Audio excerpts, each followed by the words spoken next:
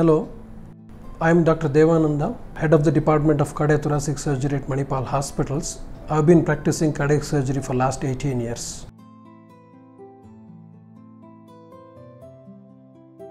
Now, leaking mitral valve, every leaking mitral valve need not have to have surgery. If the leak is very, very minimal, we would definitely observe them. We may not even give any medication.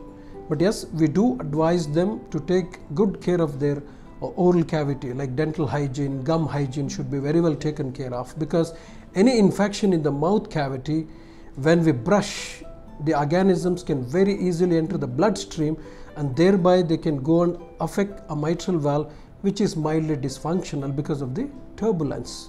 That's the only care if somebody's mitral leak is very minimal.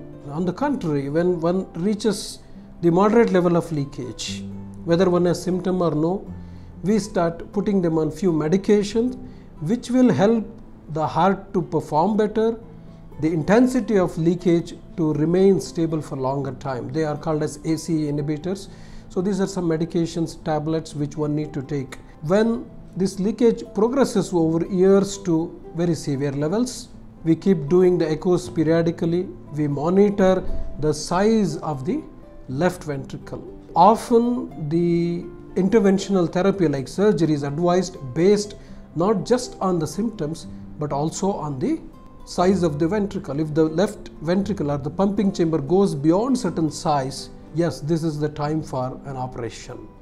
And that is how we decide when to intervene with mitral valve leakages.